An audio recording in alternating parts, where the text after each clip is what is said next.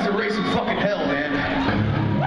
Early 2001 shit. You got some fucking feet. I want to see you bouncing off with us.